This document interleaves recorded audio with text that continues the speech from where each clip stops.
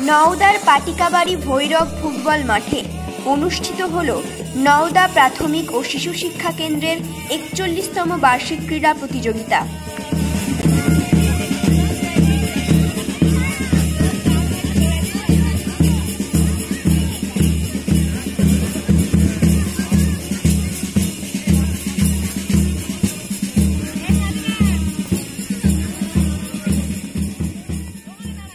এই উপলক্ষে মাঠটি সুন্দরভাবে সাজানো হয়েছিল।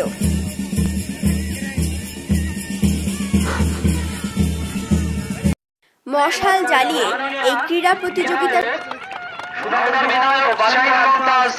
মাঠের মাঝখানে যাবেন।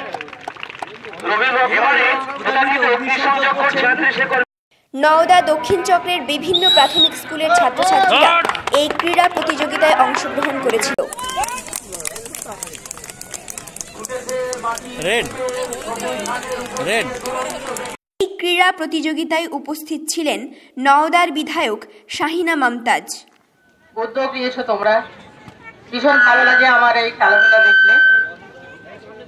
এবং মোশারফ হোসেন তো সবই বললে বলার পরেও তোমরা সবাই বেশ উদ্যোগের সঙ্গে খেলাধুলা করছ এবং প্রতি বছরের জন্য এটা হয় এবং এ- তোমরা আরও ভালো করে খেলাধুলা করতে পারো।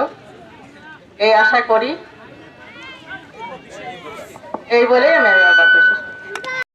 উপস্থিত ছিলেন মুর্শিদাবাদ জেলা সভাধিপতি মোশাররফ হোসেন মধু এসএসসি পঁচিশটা বিভিন্ন স্কুল এখানে পার্টিসিপেট করছে এই খেলায় অংশগ্রহণ করছে ছাত্রছাত্রীরা তো আমরা সেই শুভ সন্ধিক্ষণে আমরা পতাকা উত্তোলন মশাল দৌড় এবং যে ছাত্রছাত্রীরা ফিল্ড মার্শালের মাধ্যম দিয়ে আমরা আনুষ্ঠানিক শুভ সূচনা করেছি।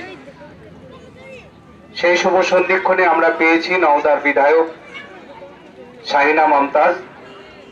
আমরা পেয়েছি পঞ্চায়েত সমিতির সভাপতি বিশ্বজিৎ ঘোষ। আমরা পেয়েছি নওদার ভারপ্রাপ্ত ওসি মিলান সিনহা মহাশয়।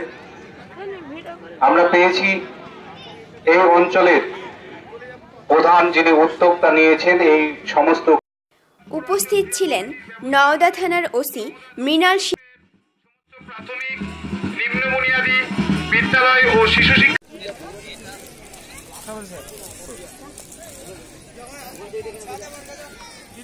এছাড়াও উপস্থিত ছিলেন নওদা পঞ্চায়েত সমিতির সভাপতি বিশ্বজিৎ ঘোষ ও স্থানীয় বিশিষ্টজনেরা।